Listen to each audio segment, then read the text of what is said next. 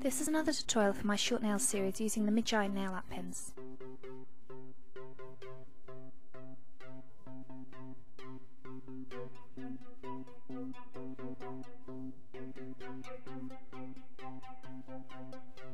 First off I'm going to be using this purple.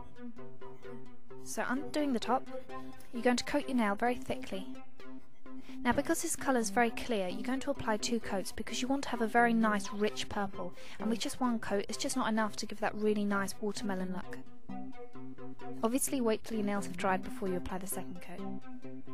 Now you're going to use the white end. So again, just using the brush, you're going to apply a line along the top.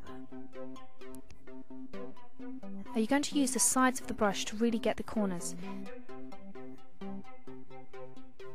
You might want to apply a second coat, depending on how thick and coloured you want the white to be.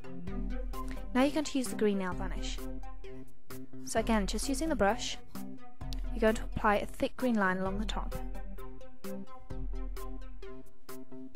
Again, use the corners to really get into the edges. Now you're going to use the black nail varnish. For this part we're going to be using the pen end of the brush.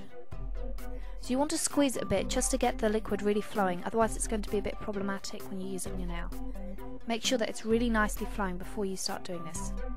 So first off, apply a dot and then drag it down. It's as simple as that. So just apply a really large blob and then pull it down.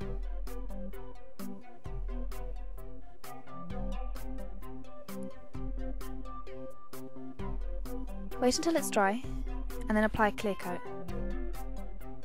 Again, I'm going to be using my Morrison's clear coat. And you do this just to stop it from chipping and generally making the nail last a lot longer. And you're done.